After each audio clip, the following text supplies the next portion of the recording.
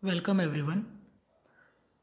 Today with this session we are going to start third module of our syllabus that is mobile networking.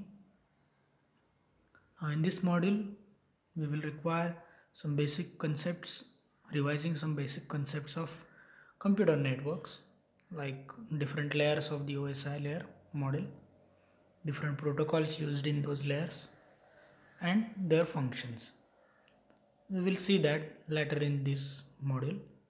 But today let's now start with the mobile networking.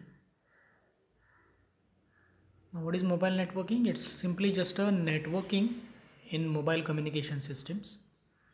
So networking means it primary concerns with the three layers. Medium access layer which is a part of data link layer.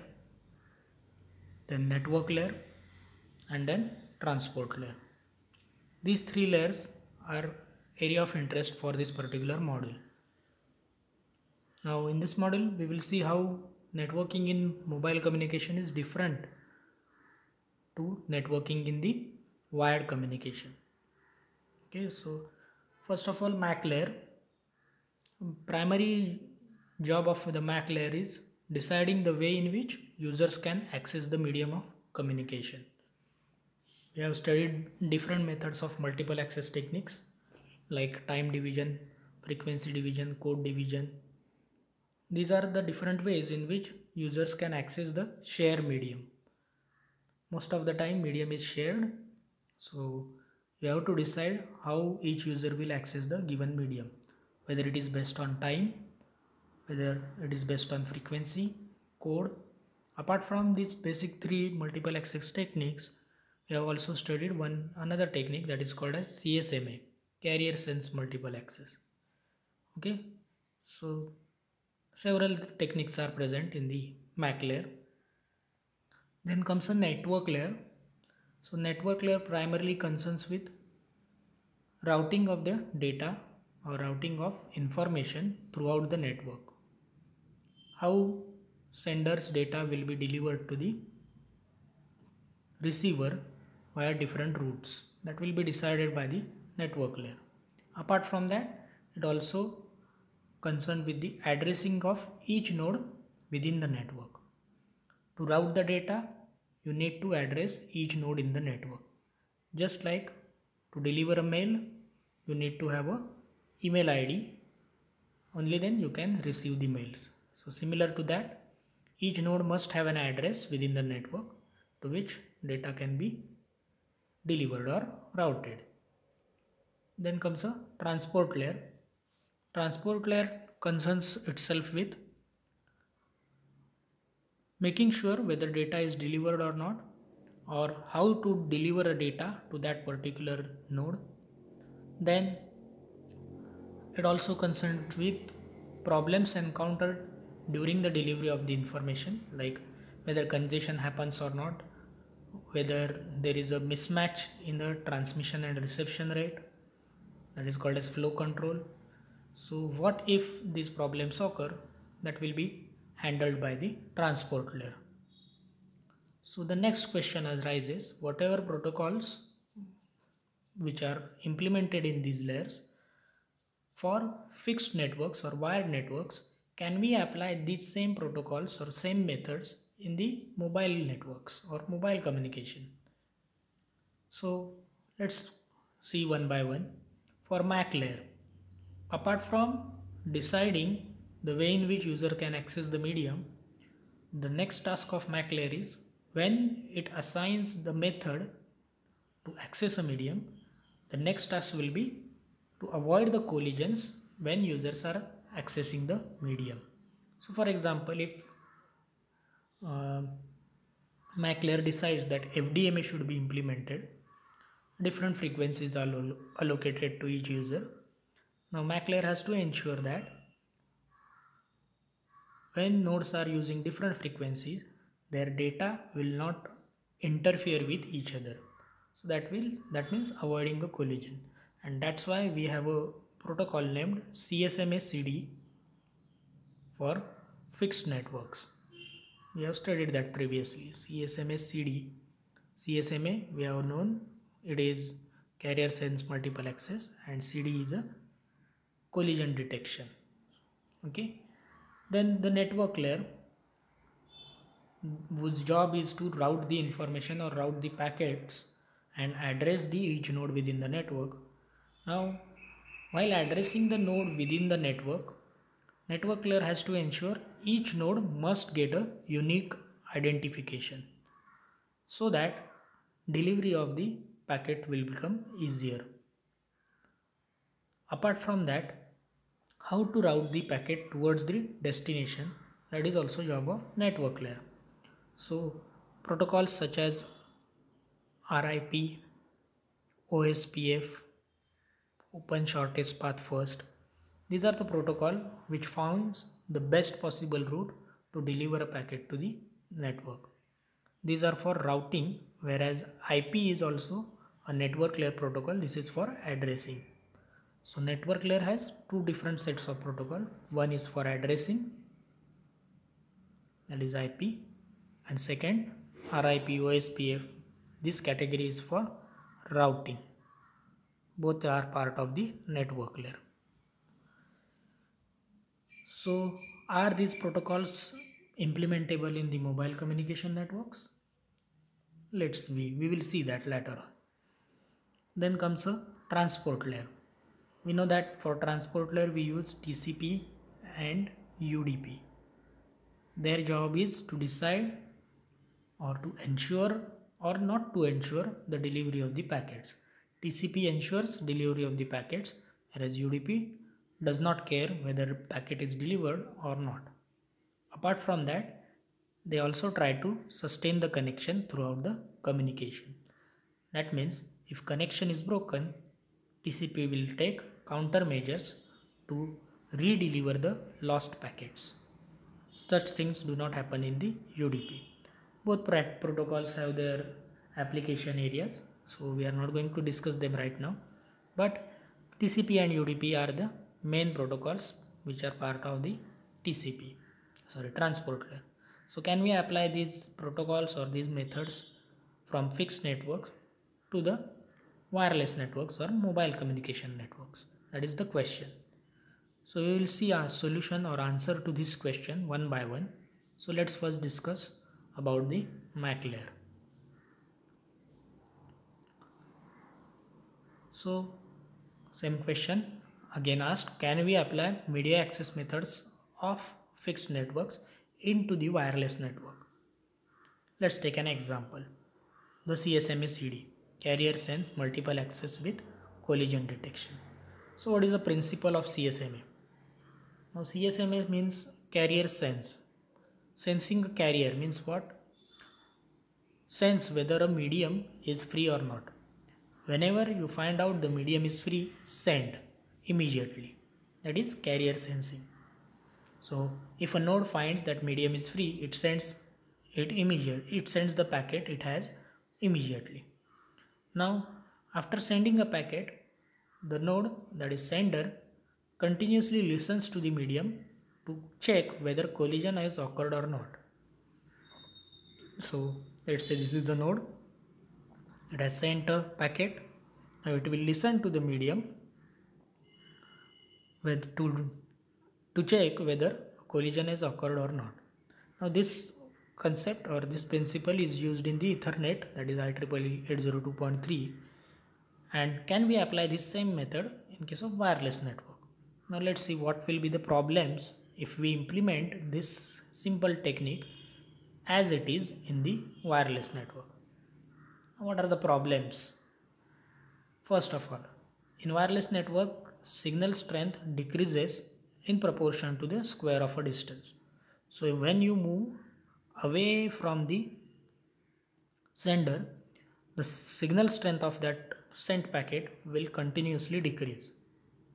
This does not happen in the wired networks because in wired networks we have a dedicated medium to which external factors do not impact like atmospheric conditions do not impact but in wireless network we don't have a physical medium. So signal strength continuously decreases. So how will this impact in wireless network? Now the sender would apply CS and CD that is carrier sense and collision detection. But collision happens at the receiver. Okay? So in short CSMA CD detects the collision when it occurs at the receiver what if collision occurs at the transmitter? We will see that scenario later in the video. So it might be the case here. Collision occurs at the receiver and sender does not hear it. That can happen in case of wireless network. That will not happen in case of wired network because in wired networks you have a dedicated physical wire associated with it. But in case of wireless network for example after sending a packet okay the receiver did not receive it because of several reasons and there comes an obstacle afterwards in between sender and receiver. So because of that sender is not able to hear the collision at the receiver. So your carrier sensing and carrier sorry collision detection concept of CSMACD is failed in this case sender is not able to hear the collision at the receiver. Sometimes carrier sensing also not work if the terminals are hidden. What is hidden terminal that we will see uh, coming next. But sometimes if there is a collision at the transmitter end, CSMA is not equipped for that. CSMA is only interested in the collision at the receiver. So how does collision occur at the transmitter end? Let's see that. That is called as now hidden terminal problem. So what are the hidden terminals? Let's consider a scenario where there are three mobile stations because we are talking about wireless networks now. There is no physical medium. Each station has its own transmission or what we can say detection range. You can see A, B and C three terminals. This is the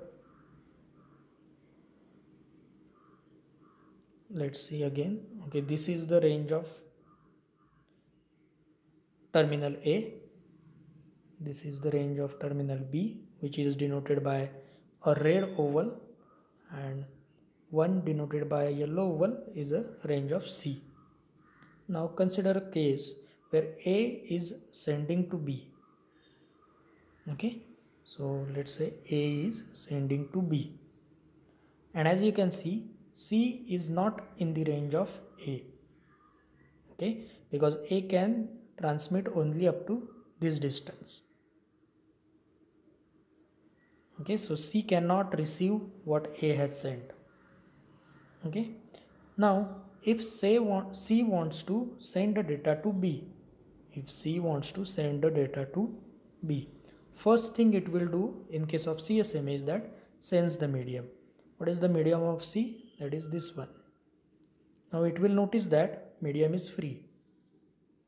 Okay? So it will try to send the data to b.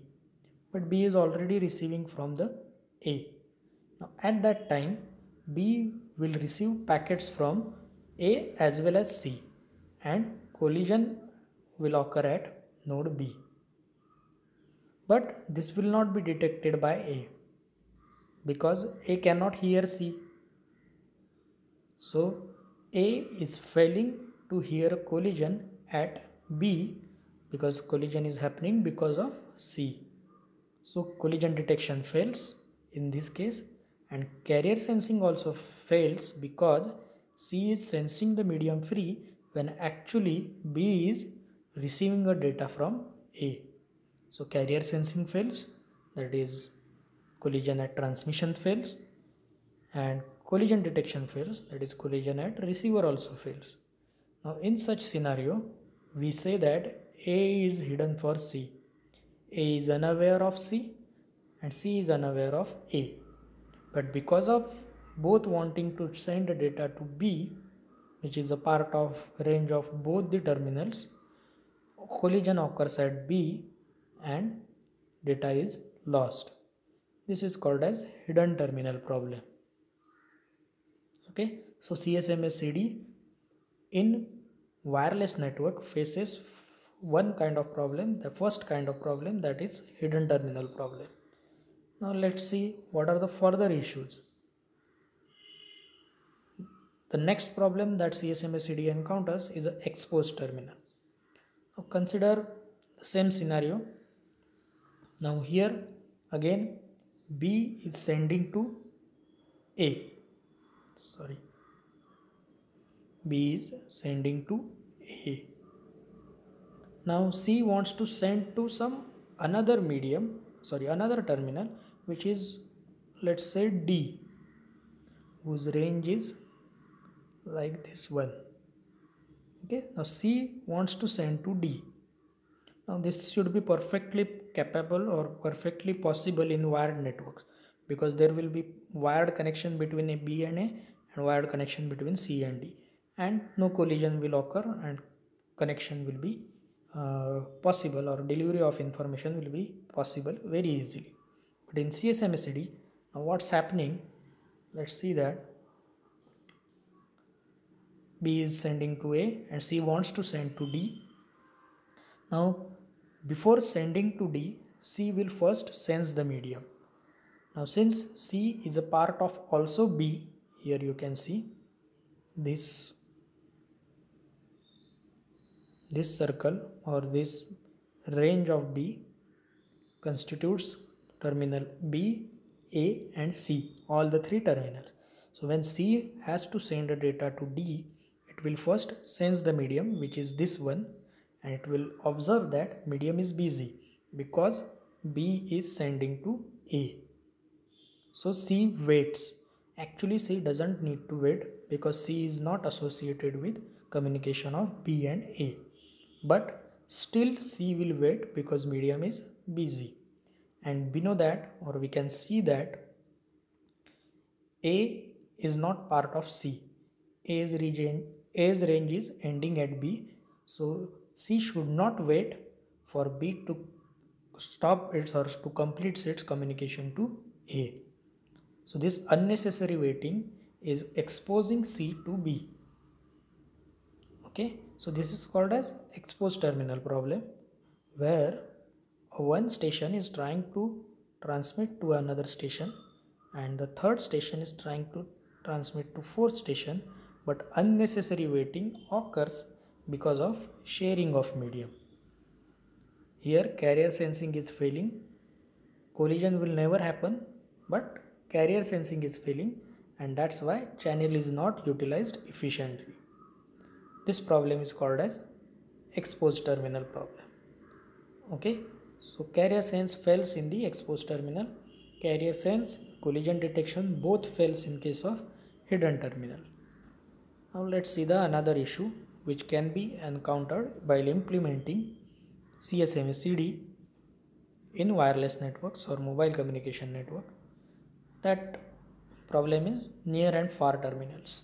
Now with this concept we have already seen in the previous videos. Let's revise it. Let's say there are two terminals like A and B with their respective ranges as shown in the diagram. Both A and B send the data to C. A is sending to C and B is also sending to C. Now we know that signal strength in case of wireless network decreases with square of the distance. So B signal will reach the terminal C at a higher strength compared to A signal reaching the terminal C. So B will have a much stronger signal compared to A signal that will be much weaker. Now because of this C will always accept a signal from B. Okay, this is called as B is drowning out A. I hope it is clear. Since B is closer to C, its signal will not degrade that much compared to A's signal which is far which terminal is far away from C. So its signal will degrade much more compared to signal from the B. So C will never receive from A and it will always receive from B. So this kind of issue because of distance between two different senders with the destination is called as near and far terminal. The one B is a near terminal and A is a far terminal. This issue is most of the time found out in the CDMA networks because in CDMA network every terminal is sending with the same power and in that case the signal with greater strength or say greater power will always be accepted and signal with lesser power will always be rejected. Now in worst case if C is one let's say server or a master or administrator who is assigning certain rights to different terminal within its network, C will never assign any kind of right to A. So A although has a perfectly functioning conditions, it will never be able to transmit anything or it will never be able to communicate with anyone because it will never get a permission from C. Okay, so this is called as near and far terminal and because of these three main issues CSMACD cannot be implemented, implemented as it is in the wireless network. Because in wireless network carrier sensing may fail.